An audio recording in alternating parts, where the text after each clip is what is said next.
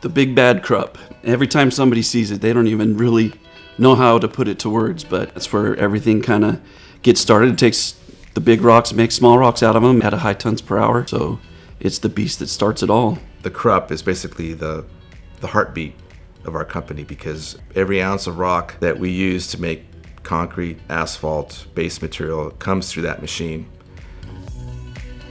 The family had the foresight to think about you know the next phase, the next stage of the Wilson Quarry, um, and so they were planning out the modernization of the facility back in the early 80s.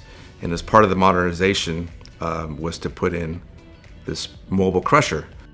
At night, we use two 992 size loaders that feed this crusher with three foot minus material, and then it goes into a gyratory crusher, takes that three foot down to about a 10 inch minus, and sends that rock over to the secondary plant for processing. And it'll take the rock basically the size of 36 inch and crush it down to minus 10 inch. Production wise, it does roughly around 3,000 tons an hour capacity.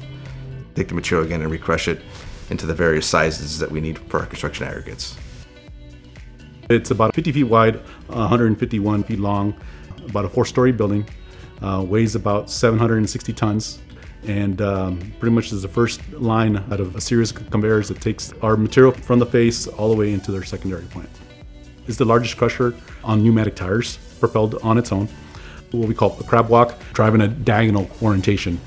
The Krupp having sensors that tell us oil pressures and temps and the ability to move it in a different way with GPS locations. It's been a long time in the works. Now, all the hydraulics on the machine were original from the mid 80s, and so they were just replaced maybe three, four years ago. Um, had to do that first before we could do anything with the automation of the Krupp with all the updates that they did. Now, instead of just traverse and transverse operation, a little bit of the diagonal, but now you have actual arcs that you can actually travel on, which is amazing, right?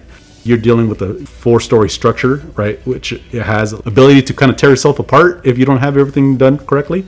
We couldn't produce the amount of material that we produce today without the Krupp.